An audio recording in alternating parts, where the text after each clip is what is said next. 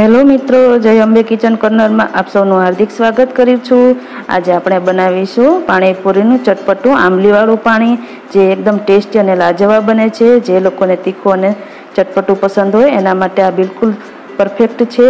તો ચાલો જોઈ લઈએ એની સામગ્રી અને રીત. અહીંયા મેં સામગ્રીમાં આંબલીને, અડધી વાટકી આંબલીને આ રીતે ગરમ પાણીમાં પલાળી દીધી છે, જેથી કરીને સોફ્ટ બની જાય. આગળ આપણે બીજી સામગ્રી જોઈ લઈએ. અહીંયા મેં સો ગ્રામ જેટલી ખાંડ લઈ લીધી છે. જેટલું તમને ખાટું મીઠું પસંદ હોય એ પ્રમાણે વધારે કે ઓછું કરી લેવાનું.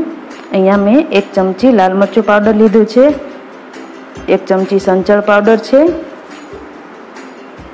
અડધી ચમચી જેટલું મીઠું લઈ લીધું છે અહીંયા મેં. હવે આપણે આંબલીમાંથી બધા બીજને અલગ કરી લેવાના છે. હવે એમાંથી જે આંબલીના બિયા હોય છે, આંબીલા એને અલગ કરી લેવાના છે.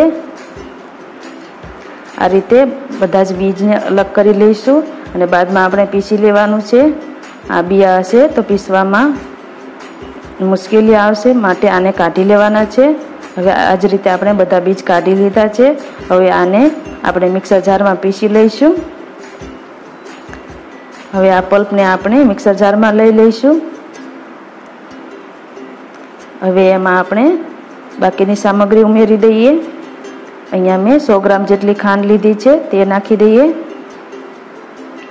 એક ચમચી સંચળ પાવડર,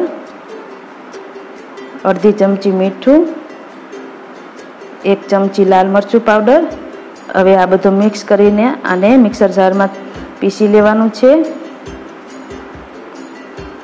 તમે જોઈ શકો છો કે આની મેં મસ્ત પેસ્ટ બનાવી લીધી છે. આ રીતે કરણીની મદદથી આને ગાળી લેવાની છે. જેથી કરીને જે પણ કચરો હોય એ બધો કરણીમાં રહી જાય અને આપણે સરસ પેસ્ટ નીચે આવી જાય. હવે આ જ રીતે આપણે ચમચીની મદદથી બધી પેસ્ટને નીચે નિતારી લઈશું અને બાકીનો ઉપર જે કચરો છે એને આપણે ફેંકી દઈશું. હવે આપણું નીચે પેસ્ટ બની ગઈ છે. તેમાં આપણે બે ગ્લાસ જેટલું પાણી ઉમેરી ઉમેરીશું અહીંયા હું બે ગ્લાસ જેટલા પાણીની રેસીપી બતાવી રહી છું. તમારે જેટલું બનાવવું હોય એ પ્રમાણે સામગ્રી લઈ લેવાની. હવે આપણે પાણીને મિક્સ કરી દીધું છે. હવે એમાં લીલા ધાણા ઉમેરીશું. હવે આપણું આ ચટપટું અને તીખું આંબલીનું પાણી બિલકુલ તૈયાર છે. જો તમને અમારી રેસીપી પસંદ આવી હોય તો મારી ચેનલને લાઇક શેર અને સબસ્ક્રાઈબ કરવાનું ભૂલતા નહીં. અને કમેન્ટ કરીને જરૂરથી જણાવજો કે તમને અમારી રેસીપી કેવી લાગી? ધન્યવાદ.